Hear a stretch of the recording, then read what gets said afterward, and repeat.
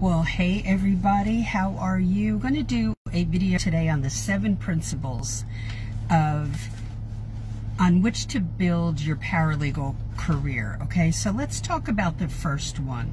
You know that in, in a lot of videos I talk about researching on Google about the areas of law that you want to work in. And I've had people say to me in the past they never thought about it. Well, it's very important uh, I know some of you watching this don't have an, an inkling of what area you want to work in, but it's important that you look at the job ads that are out there, but you also, because that's important, you, you don't want to prepare for something and there are no jobs available. That wouldn't make sense, you know? So make sure that you look at the job ads and out of the ones that you're seeing and watch them for a while and then go research those areas of law. Is anything lighting your fire? Have a clear view of what you want and why. And use your notebook to write down all of the things right in here. Write it down in your cheapy notebook or have a place online that's private for you um, or on your phone where you're keeping track. But I would write it someplace where you're sure it won't get lost and have that in front of you that that mission statement. Like what do you want to do? That clear view. Now when you land your first job they already have a mission statement or they should or they have a clear view of where that workplace wants to go. Excuse me. So it may be that they don't and they're just kind of flying by the seat of their pants. That's the way some business owners run their business too. It's not a good way, but that's what happens. So as you go along in your first year, in your first job, you're going to see whether the way you see yourself, how you want to operate, meshes with how they operate. It doesn't always mesh, and sometimes it does beautifully. So that's the goal is to mesh as as um, you know closely as possible to what you who you are, what you want to do in your career, and what they're doing. Okay. So number two, competence. In the beginning, excuse me, guys, we do not we do not feel very competent in the beginning. We know there are areas when we're first starting out where we need help and we need to uh, research some things and get better at what we're doing. That is a constant. Through 30 years, I've never stopped learning. So, you know, make that your goal is that your competence level will increase. Okay? And you'll start off with some competencies. You know, you'll feel somewhat comfortable about what you know, but then it's going to blossom. It's gonna, you're gonna grow like crazy, okay? If you're open to it. And then make a commitment to the success of the workplace in which you're working, as well as a commitment to yourself that you won't sacrifice any um, moral standards that you have or ethical standards that you have in place for yourself. Don't compromise that. There should be a commitment to yourself. It's not about, I, oh, I must follow everything they tell me to do. No, I've been asked to do some unethical things by attorneys. Yes. And I said no. So um, make a commitment to yourself that you will take the high road, even if the workplace takes a low road, and you will not budge on that. Okay? So, something called constraints, or that's number four, or hold back.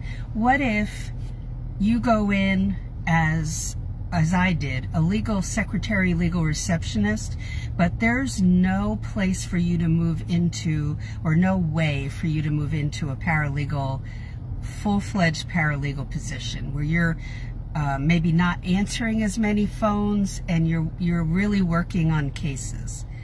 And that's what your goal is. Like you have individual goals. I had a goal of doing that. And I saw that I was going to be, I was hitting a wall after about six months that that was probably not going to happen. So I had to make some choices. Don't let anybody hold you back or constrain you from moving forward. Okay? Um, you are the leader you are the orchestrator of your career. No one else. Number five, creativity. Um, you have to be open to trying new things. You have to not say that I am computer illiterate. If you are saying that right now, that's something you should get out of your vocabulary you should start to hit it hard in learning some things on YouTube about Microsoft Word. Use YouTube. Use these things that are out there for you now to increase your value to the workplace and hit it hard. Make make goals for yourself. If when you get home or you are home and you, you know, and it's tough to have any free time to yourself, boy, you've got to grab 15 or 20 minutes somewhere during the day and focus on becoming better at whatever it is you need to um, increase your knowledge in, okay? So your creativity will come with your time and how you spend your time. And for me, it was always going to be the lunch hour because when I went home, there were just so much stuff was happening. My I had two daughters living at home, going to college for a while, um, or working, and so there were four of us in the house. There wasn't, you know, I wasn't going to come home from work and then go hole up in my makeshift office in the bedroom. So um, I know what it's like not to have a lot of time. You have to be creative. You have to be creative with how you manage your career. So you want to make yourself well-rounded. And if you work for an attorney that has two to three areas of law, or in a workplace that has two to three areas of law that you're going to be involved with and exposed to, that's a beautiful thing because, boy, you're going to be so well rounded. You know, after a year, you won't believe how far you you will have come. All right, so continuous learning is number six. Creativity was number five. Number six is continuous learning. Use YouTube for technical information that you need need to improve in an area of software. I'm telling you, I use it every day.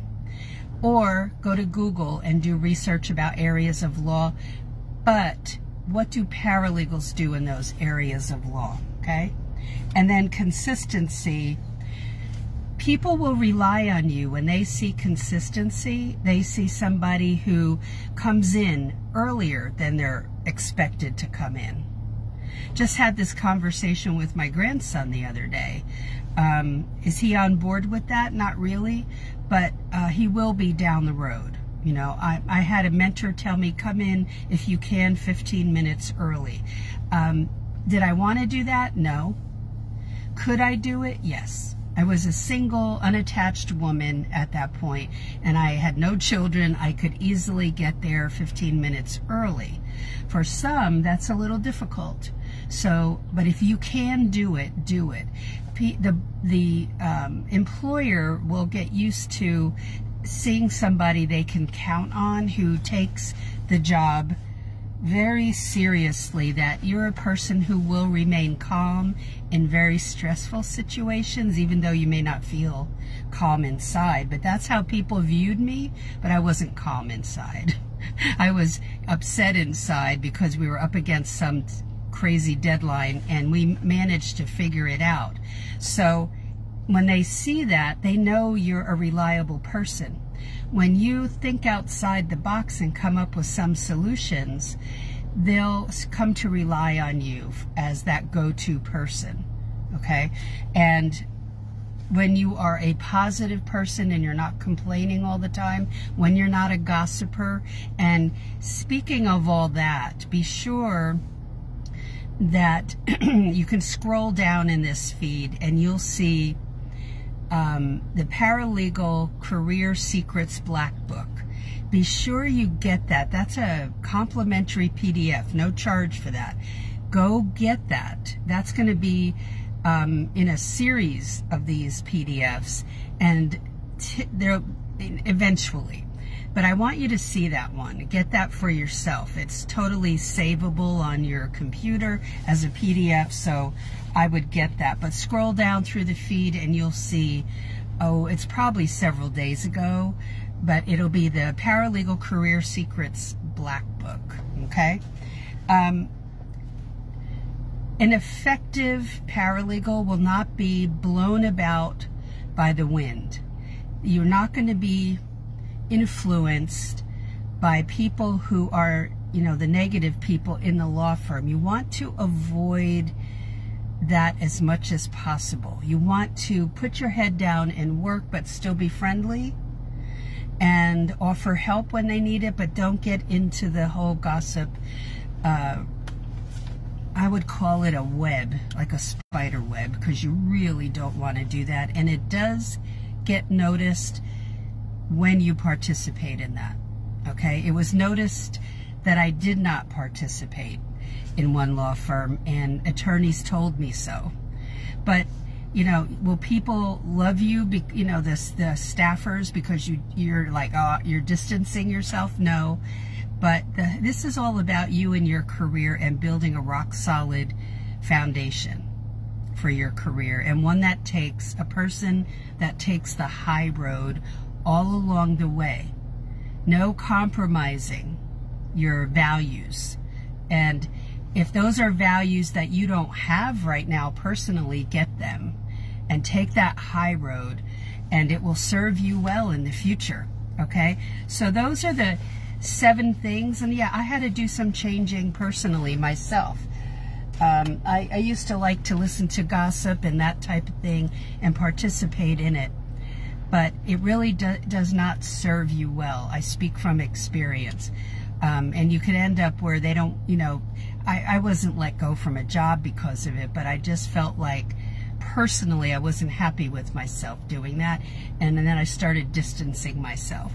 So um, follow those seven tenets, those seven principles, and you your career will know no bounds. Now be sure that today's the last day of the fourth anniversary pricing for the Cover Letter Secrets class and the Paralegal Inner Circle class. People are jumping on board. Um, from the time I launched it at the fourth anniversary pricing, people have been jumping on board like crazy um, for both classes. So check those out. You can scroll down and find the links. I didn't post them today uh, for both classes, okay, and check them out. All right. excuse me. so have a great day. Um, if you're into football, there's the Super Bowl tonight, so everybody's revving up for it around here. You should see the supermarket parking lot. So have a great one, and I will talk to you next week in some more videos. Bye.